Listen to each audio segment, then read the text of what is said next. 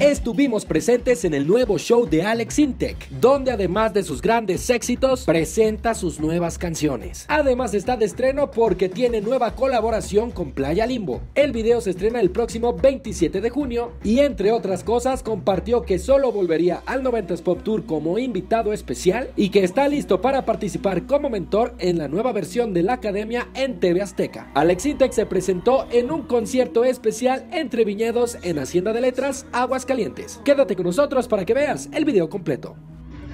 Y acabo de lanzar el día de ayer mi nuevo sencillo con al lado de Playa Limbo, que se llama Eclipse de Luna. Y es una, es una canción que, que ya venía en mi disco, pero decidí un año y medio después regrabarla con un nuevo arreglo más dinámico, eh, más energético, eh, que, que, ejecutaron los chicos de Playa Limbo. Y Jazz, que es la cantante eh, que sustituyó a María León, que está ahora en el grupo, canta conmigo la canción con esta voz preciosa. Que además cabe mencionar que a Jazz la conocí en La Voz México 10 años atrás. Ella fue participante de este programa de televisión y nos llevamos muy bien, la verdad. Hubo mucha química, ya hicimos el videoclip, va a salir el 27 de, de mayo, o sea, ya la próxima semana. Eh, es un video increíble porque además lo hicimos plano secuencia, todo el tiempo está la cámara viajando y no hay ningún corte, o sea, está filmado de, un, de una sola toma todo. Entonces es muy divertido, te mantiene, eh, digamos, en, entretenido y pegado a la pantalla todo el tiempo. Así que yo espero que al, al público le guste mucho. Eh, lo dirigió Ricardo Encinas, que es un gran director mexicano. Y, y bueno, ahorita pues voy a, a, estar promocionando durísimo esta canción, que yo creo que va a tener un buen éxito entre el público mexicano y, y, y, de afuera también, ¿no? Porque pues pensamos hacer una gira Playa Limbo y yo más adelante, para fin de año y visitar Estados Unidos, México, Centro y Sudamérica también. Sí, también estoy, estoy contento porque hace 10 años que hice lo de La Voz México y no había vuelto a participar en un programa de esta categoría, de, de este estilo. Tal vez porque me cuesta trabajo ver que haya chicos que, que, se le rompen sus ilusiones, que no logran llegar al final. Y...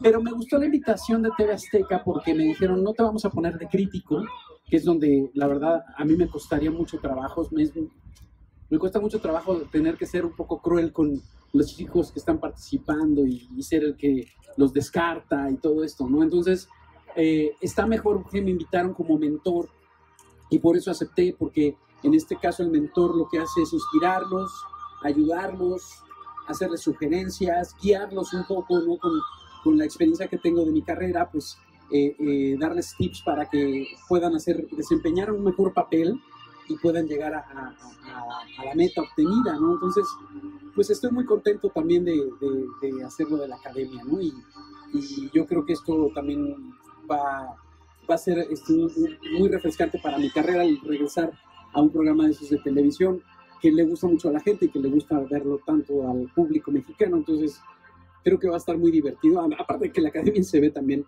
en, en el extranjero, ¿no? En, en, Sudamérica, en Estados Unidos, por todos lados. Entonces vamos a, a tener muy buena exposición en, en, este caso y también para promocionar mi canción, seguramente la cantaré en el programa con Playa Limbo. Yo siento que, que, ya se saturó mucho el urbano y que ya está regresando el pop otra vez un, un poco más, ¿no? Eh, pero sobre todo lo que está regresando es la diversidad musical, porque ya se vuelve a escuchar música ranchera, se vuelve a escuchar bolero, se vuelve a escuchar eh, pop, rock, de todo, ¿no? Y que, un poco mi, mi, mi crítica siempre a, a, hacia lo del género urbano era que, que, fuera un embudo a que todos tuviéramos que escuchar nada más ese tipo de música. Me parecía que no era sano para, para, para, la industria de la música ni para la cultura musical.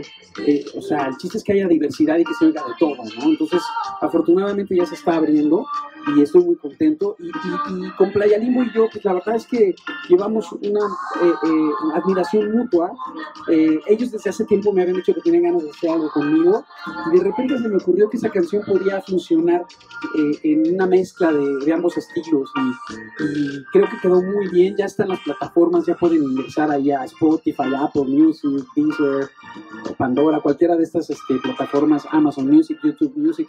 En todas ya está Eclipse de Luna con La verdad es que he sido muy suertudo porque he cantado con casi prácticamente todos los artistas que me, que me agradan, como Ana Torroja, Miguel Bosé, eh, Rubén Blades. ¿Pero planes próximamente aparte de Playa plan de hacer un disco de duetos con mis grandes éxitos que se va a llamar Retro Futura, pero es- lo estoy planeando para el año que entra. Y claro, eh, lo que quiero es que sea un una, eh, disco eh, muy ecléctico de, de artistas muy diversos, desde rock and rolleros hasta baladistas, de, de todo un poco, ¿no? O sea, yo siento que ya cumplí mi, mi- etapa ahí. Yo estuve un año nada más en el 90 por Tour y me gustó mucho la experiencia, pero, pero un ratito nada más, ¿no? Sobre todo porque yo no creo que mi carrera sea de nostalgia y mis mejores éxitos sean de los 90 para nada. O sea, muchos de mis grandes éxitos como Corazones Invencibles son del 2014. O sea, son más actuales. Y yo soy un artista que todavía sigo sacando canciones y música y me mantengo vigente. Entonces no quiero que la gente me estanque en una cuestión de, de nostalgia porque, porque creo que eh, mi música todavía es- tiene para dar mucho más, ¿no? Entonces, eh, eh, por eso eh, solamente así que me, que me invitara Ari Borboy como, como invitado especial y que de pronto apareciera cantando con Ana Torroja, por ejemplo, ahí en el 90 por Tour, me encantaría y no dudo que lo hagamos en algún momento dado, pero como una invitación especial más.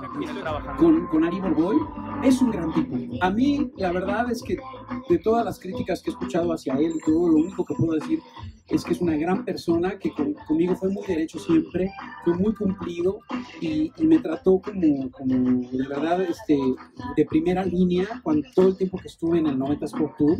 No tengo nada que quejar contra él, sino al contrario, estoy muy agradecido. Pues mira, Ale, Ale Guzmán siempre me ha gustado mucho su estilo, creo que es, es una artista muy auténtica y me gustó mucho que, que hiciera una versión diferente, que no se pareciera a la mía, ¿no? a la original. Eh, de todos modos, este, yo hice una versión nueva también en la película, que también aparece en la película. Eh, hay o- otras personas como el Instituto Mexicano del Sonido y Jazmín Solar que también hicieron eh, versiones de Sexo, Pudor y Lágrimas que me gustaron mucho. Y, y creo que Alejandra lo hizo muy bien, hizo su, su propia versión muy dramatizada, ¿no? Siento yo que fue a- a- algo así muy dramático, pero que le vino bien a la película. Entonces, eh, eh, pues eh, me dio mucho gusto que Ale me, diera, me rindiera ese honor de cantar mi canción. No, como, como se podrán eh, haber dado cuenta, ya no, expreso lo que siento en las redes sociales porque nada más enredan, por eso son redes. Y, la verdad es que eh, durante un- algunos años me metieron en algunos problemas muy graves que la verdad no era necesario y, todo fue por ser verdaderamente muy honesto y, decir lo que siento y lo que pienso. Entonces decidí eh, usarla como informativo nada más, ¿no? Sobre todo el Twitter que es tan tóxico, ¿no? Así lo considero. Y este y, bueno, ni modo, los artistas nos vemos obligados que tenemos que usar las redes porque es un- una plataforma necesaria para estar en contacto con el público, pero simplemente lo hago para informarle a mis fans qué es lo que estoy haciendo, qué voy a hacer, pero ya no doy mi opinión de nada porque de verdad acabé saturado de tantas críticas y ataques. No he tenido realmente una ausencia, lo que pasa es que nos cayó la pandemia a todos encima y pues eso nos silenció un poco. Sí, porque puedes ver estadísticas directamente en Spotify, Apple y todo.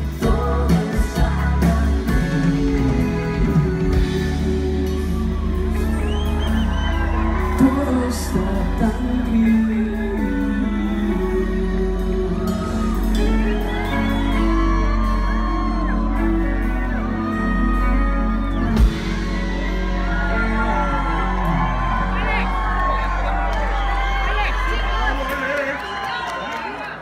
Para Pepe Podcast, Pepe Martz.